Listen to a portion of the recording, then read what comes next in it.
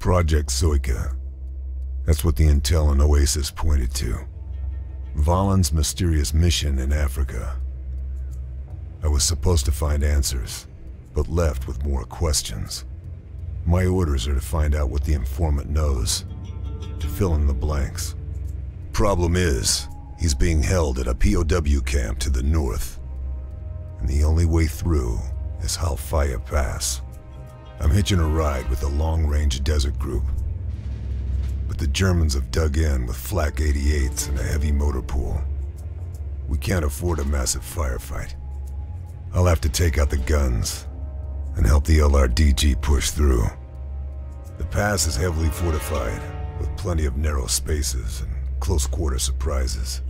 I'll need to watch my six and pack a couple of mines to cover a quick exit. I suppose they don't call it Hellfire Pass for nothing.